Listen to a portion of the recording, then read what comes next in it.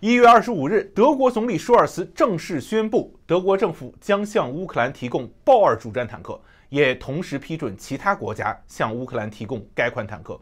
与此同时，美国总统拜登宣布将向乌克兰提供三十一辆最先进的 M1A2 主战坦克。那这里呢，我要多说一句，美国提供的坦克并不是老式的 M1，而是最新版本 M1A2 SEP。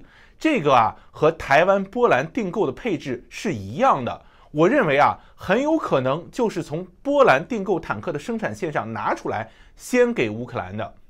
德国提供豹二坦克意义重大，主要原因在于啊，豹二坦克是整个西方国家使用最多的坦克，像欧洲各国，西班牙、葡萄牙、德国、波兰、挪威，他们都有豹二坦克。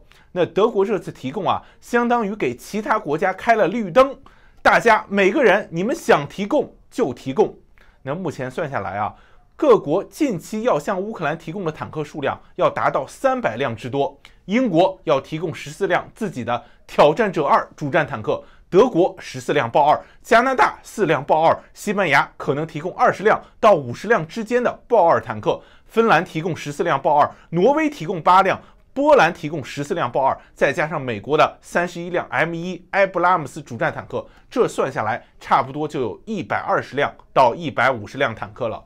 除此之外呢，乌克兰驻法国大使还在节目上表示，捷克将提供九十辆 T72，波兰提供六十辆 PT91，摩洛哥还将提供三十辆 T72。你这么一算的话啊。乌克兰将在春天获得一百八十辆苏联时期的 T72 系列坦克，还有一百二十辆左右的西方国家先进坦克，总共三百多辆。大家一听啊，可能不觉得三百辆坦克多，但其实三百辆坦克这个数字已经不小了。法国陆军总共只装备了二百二十多辆勒克莱尔主战坦克，英国陆军总共装备了一百四十六辆挑战者二主战坦克。也就是说啊。这些北约国家，你出一点，我出一点，东拼西凑，就凑出来这个坦克数量，已经超出了欧洲陆军大国的坦克数量了。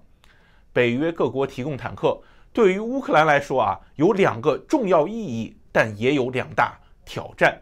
我们先来看挑战啊，第一个挑战就是后勤。乌克兰目前手上有苏联时期的 T72、T80 这两款坦克，它们维护起来完全不一样。T 八零使用的是燃气涡轮发动机，说白了，工作原理和飞机上的喷气发动机类似。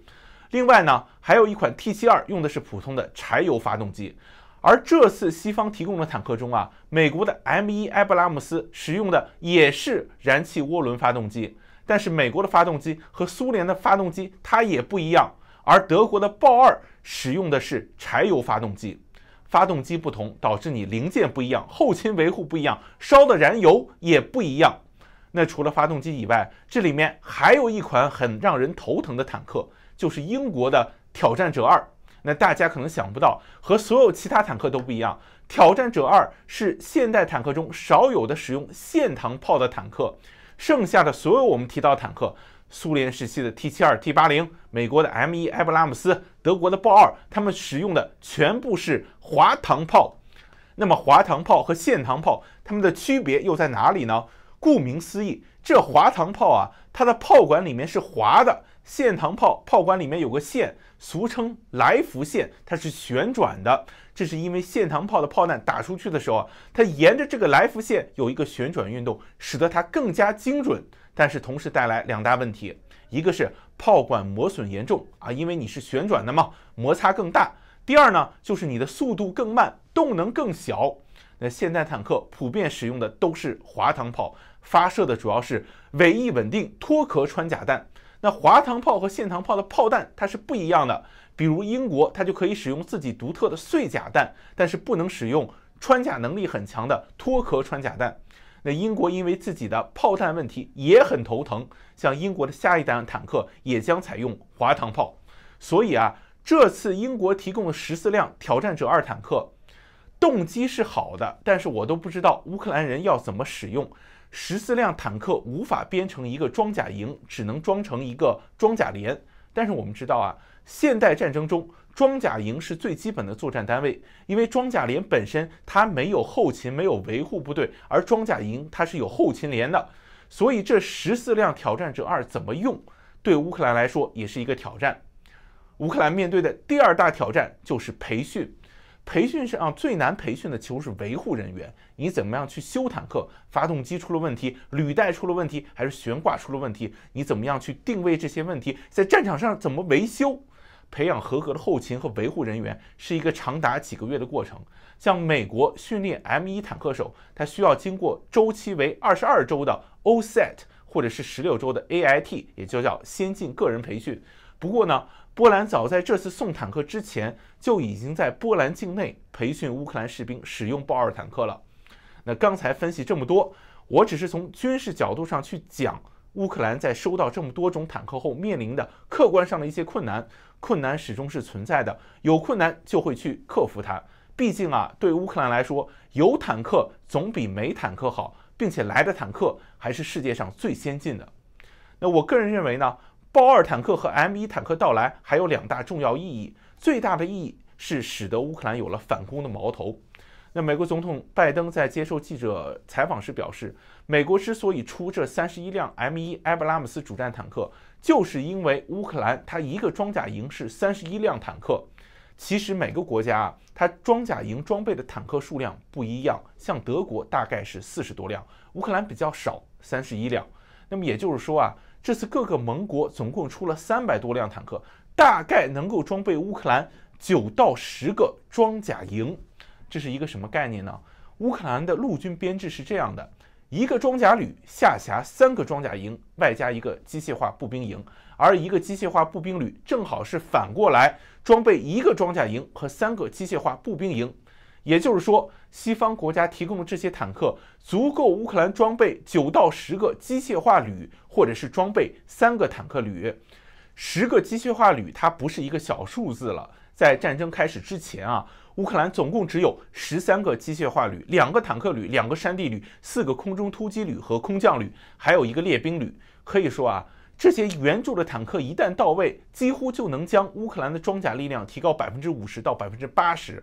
而且西方国家的坦克，无论是豹二还是埃布拉姆斯，质量都要比苏联时期的坦克高出来不少。我们终于能够在战场上看到西方主战坦克和俄罗斯最强坦克的终极对决了。那这次军事援助的第二个意义，就是开启了乌克兰获得战斗机的可能性。我们知道，在战争之初，北约国家。特别是德国和法国对于军事援助乌克兰一直是非常迟疑的，不要说坦克了，就连反坦克武器，德国都不愿意给。那个时候，德国提供的只是防卫性武器。什么是防卫性武器啊？比如说头盔这种东西是可以的。那个时候主要是英国、美国提供自己的标枪和恩烙导弹。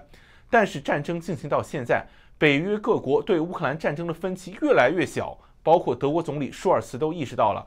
要想结束乌克兰战争，只有一个可能，那就是让乌克兰赢得这场保家卫国的胜利。那这就需要北约国家的军事援助。那今天呢，北约各国向乌克兰提供坦克，明天到来的那就有可能是战斗机了。荷兰外交部长胡克斯特拉在一月十九日的会议中谈到，如果基辅提出要求，荷兰内阁将研究向乌克兰提供 F 十六战斗机的可能性。乌克兰国防部长的顾问尤里表示：“啊，乌克兰下一个大障碍现在就是战斗机。如果我们得到了这些战斗机，战场上的优势将是巨大的。”他同时还表示：“他们不想给我们重型火炮，然后他们给了；他们不想给我们海马斯，然后他们给了；他们不想给我们坦克，现在他们给我们坦克了。除了核武器，我们都可以得到。”那有消息指出，其实从战争开始之初。波兰就将自己的米格二十九战斗机以所谓备件的形式秘密支援乌克兰，那这就导致乌克兰开战到现在，乌克兰的空军一直活跃在战场上，这和波兰的军事援助分不开关系。F 十六是一款美国在七十年代设计的第四代战斗机，它也是世界上第一款使用电传飞控的战斗机，可以说是引领了一个飞机设计的时代。F 十六同时也是世界上目前产量最多的第四代战斗机，产量达到五千多架，使用国家非常广泛，从美国到台湾，从摩洛哥到希腊都装备了这款战斗机。如果美国决定对乌克兰提供战斗机，那么北约的其他国家就能够给乌克兰凑出一支规模不小的 F 十六战斗机队伍。F 十六战斗机搭配上响尾射近程格斗导弹、AIM 幺二零中距离空对空导弹、哈姆反辐射导弹以及 JDAM 联合攻击制导炸弹，将给俄罗斯陆军和空军带来毁灭性的打击。在一月二十八日，乌克兰官方表示，乌克兰的飞行员需要半年的时间来训练使用 F 十六战斗机。对于乌克兰飞行员来说，驾驶 F 十六不是什么难题，他们可以在几个周时间内学会使用它。但是，使用这些战斗机进行战斗是一个完全不同的事情，因为你要使用它所搭载的不同类型的武器。而在美国，白宫国家安全顾问告诉 MSNBC，美国将会和乌克兰以及盟友谨慎地讨论提供战斗机的可能。我们可以看到。向乌克兰提供 F 十六战斗机的大门已经慢慢打开了。F 十六战斗机什么时候会到乌克兰呢？让我们拭目以待。我是子定，我们下期节目再会。